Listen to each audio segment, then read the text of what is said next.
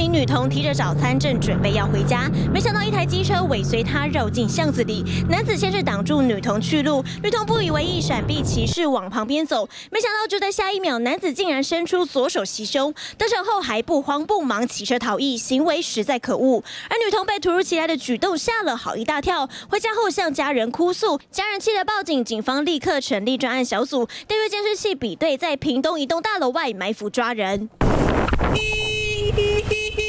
来，拍摄哦，阮托管所警察。马紧，你先落车。证件我看下。嗯。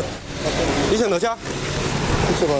顺利等到这名二郎骑车外出，立刻将他逮住。男子一开始还不断装傻，否认犯行。哇，你安怎？但我跟你讲哈。把男子抓到路边比对证件，还给男子看当时袭胸影片，才让男子无法狡辩坦诚犯行。有没有给人家摸？而且手盖在蒙遮啊。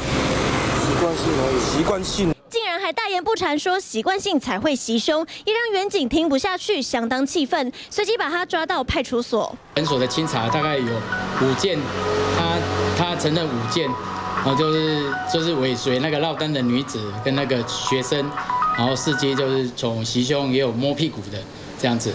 据了解，这名袭胸郎离婚后自己独居在外，从四月份开始犯案，专门挑落单的国中小女生下手，一路尾随，趁机袭胸摸臀。